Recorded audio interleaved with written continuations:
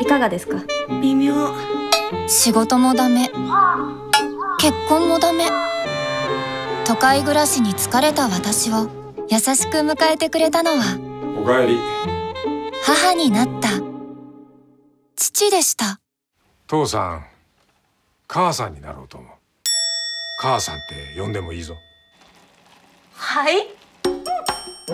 お父さんどういうこと？私藤田和夫と申します和夫と結婚して新しい家族の母さんになる。なんで誰も何にも言わないの？いいんじゃないの？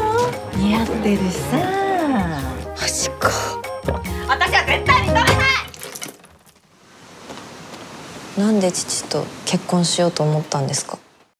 母親になりたいって言ったでしょあの人。いろんなもんなくした俺たちに愛だけくれたんだ料理は随分練習したんだけどおはぎだけなんか違ってな。